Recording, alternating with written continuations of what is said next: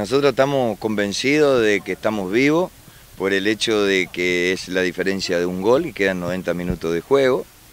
Eh, uno lo que lamenta es que viene con un equipo consolidado y trabajando una idea y un funcionamiento de juego y obviamente que al tener que reponer el 50% del equipo eh, hace de que bueno el rendimiento eh, excelente que Sarmiento ha tenido eh, tanto en tenencia, recuperación de la pelota, como en transiciones y ataque, este, eh, puede ser no que se vea diezmado, pero sino que eh, el ingreso de nuevos jugadores haga de que merme un poco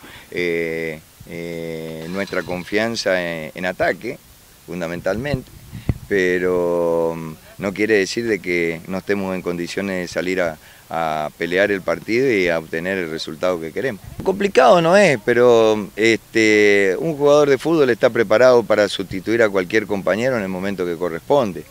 Pero cuando vos tenés que cambiar, te reitero, el 50% del equipo, eh, el funcionamiento del juego hay que adaptarlo a los nuevos jugadores que ingresan y esto es lo que no es fácil. Eh, no se trata de que los jugadores que, vamos a, incorporar ahora para la plantilla no estén a la altura de las condiciones. Les sobra para jugar en esta categoría y este partido porque tienen toda la jerarquía, pero tenemos que coordinar aspectos que muchas veces solamente se hace cuando uno tiene más de un partido encima y jugando con el mismo equipo. Yo lo decía anteriormente, eh, el tema del arbitraje es una cosa que nosotros no podemos manejar,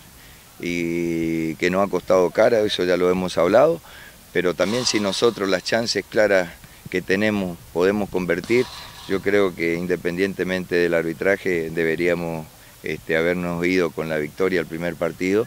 y de suceder lo mismo en esta revancha, yo creo que, eh, que Sarmiento eh, puede quedarse eh, con el pasaje a la segunda, a la segunda instancia. Vamos a ir con Sarso, con Gallardo, Ibáñez, eh, y Arias, Sebas, Corsán y Tacla, y arriba el tridente que formamos con Chalave, Silva y Cañete.